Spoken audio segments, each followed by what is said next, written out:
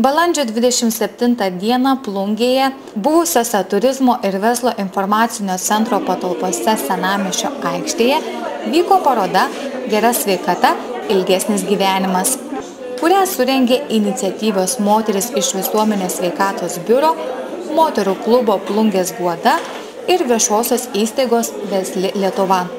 Idėja populiarinti natūralius produktus prisipažino ilgai brandinusi bendrovės vaikis konsultantė Vida Vilkienė, kuri pasidžiaugė, kad rado talkininkų ir bendraminčių. Numaldomai greitėjantis gyvenimo tempas kiekvieną iš mūsų įtraukia į rodus nesibaigiantį bėgimą, skubėjimą, siekimą. Tik su negalavę esame priversti sustoti, atsigręžti atgal ir susimastyti kaip gyvenam, ką valgom ir tik tada duodam savo pažadus. Nuo rytojos pradėsim gyventi kitaip. Pradėkime kitaip gyventi, sveikai gyventi, nuo šiandien. Sau ir kitiems sveikatos linkėjo parodos dalyvių pasveikinti atėjusi plungės savivaldybės gydytoja Oresta Gerulskienė, prisiminusi, kad penktadienį švenčiama ir medikų diena. Noriu palinkėti, pasakyti pačią brangiausią turtą sveikatos, nes kaip žinome, jos niekada nenupirks. O kad sveikai gyventumėm, tai šiandieną turim labai gražių stendų. Dėkoju poniai Vidai, kuris organizavo tokį renginį. Būti sveikomis ir gražiamis moteris ragino Avon kosmetikos vadybininkė Irena Marcinkievičienė. Sveika moteris turi būti ir graži moteris. Taigi mūsų uh, situacija yra naudoti veido priežiūros priemonės, pasikvėpinti, pasipuošti ir būti moteriai gražiai. Skuodiškė Daiva Kasparienė pristatė Marikei kosmetikos liniją. E, siūlo moteriams e, rūpintis e, savo, savo grožiu, savo išvaizdą, jaustis pasitikinčiom, atrodyti sveikai, gražiai. Giedrė Klapatauskienė siūlė išbandyti jos rankomis pagamintus muiliukus.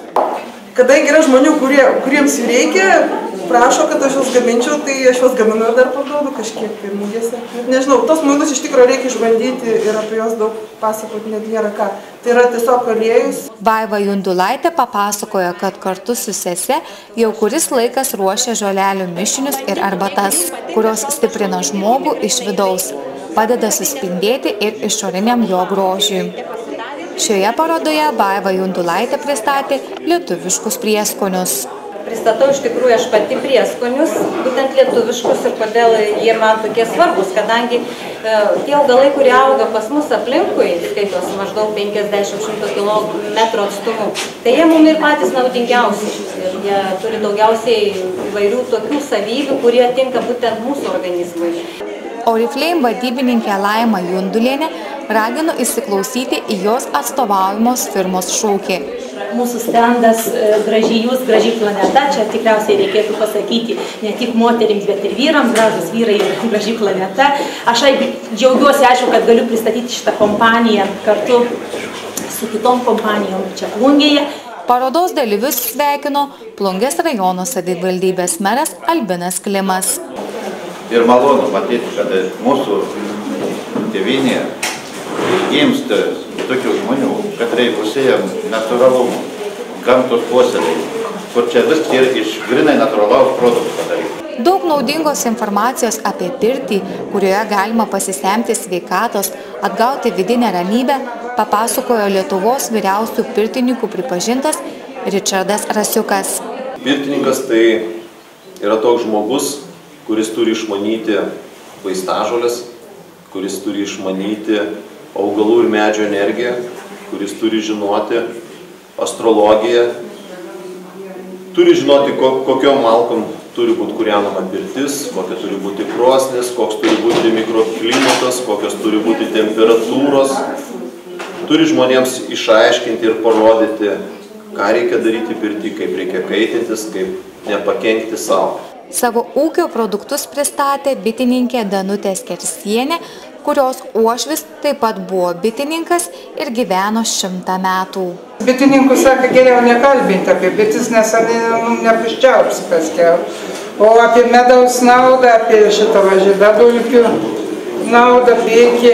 Va čia žvakis ypač gamintas, čia tos žvakis vadinas bitininkas žvakis, nes jis padarytas iš vaškuolių arba kitaip vaško plokštėlių ir susuktas e, tam tikrą linkmę, janos skleid gerą energiją ir sveikas, ne, ne, ne pavyzdžiui, užsidegus paprast parafininį žvakį, tas pats, kas mašinose, kur kai išmetamai nukreipti kumbarių. Į savo sveikos gyvensenos sodybą Plungės rajone kvietė Nova Vita pirmininkė Keri Zankievičienė.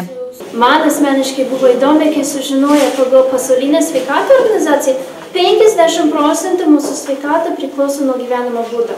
O mes linkim kaltint būtent uh, gydytojams, vaistams, nu, visokie gydymo įstaigas. O iš tikrųjų jų tik tai 10 procentų įteka turi sveikatą. Tai aš supratau, kad sveikata priklauso nuo mūsų kasdieninės sprendimus. Bet kartais gal trūkstų, uh, kaip to žinius praktiškai gyventi. Ir dėl to atidarėm tą sodybę, kad žmonės galėtų atvažiuoti, ragauti tą maistą dar ir išmokti, kaip jų gaminti gali vaikščioti prie platelį ežerą, gali ir, ir masažas turėti, ir, ir įvairių procedūrų siūlėm, ir iš parafinų, ir iš molė. Apie sveikatai stiprinti ir lygų profilaktikai naudingas arbatas papasakojo tėviškės žolynų atstovė Aldutė Valauskinė. Ji taip pat atstovavo ir Saulėtekio asociacijai, kurių kepiniai pretenduoja į tautinio paveldo produktų kategoriją. Ir mūsų žolelės ne tik gydimui rekomenduojam, bet jos daugiau yra profilaktikai. Tuo pačiu važinėdami mokinam žmonės, kaip jas paruošti, kaip nepakenkiant savo sveikatai e, jas naudoti.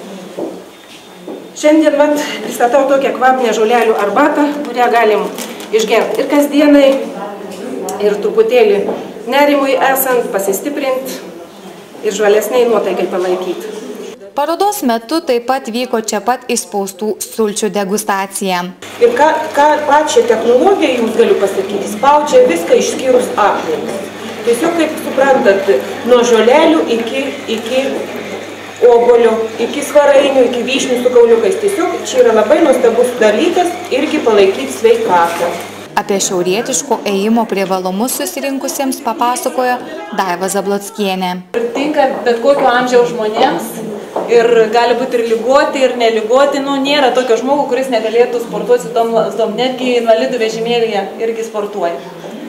Dirba 90 procentų raumenų. Nu, aš labai trumpai, tai yra kilę iš Suomijos, lasdos susimažina, pasididina pagal svorį, pagal viską.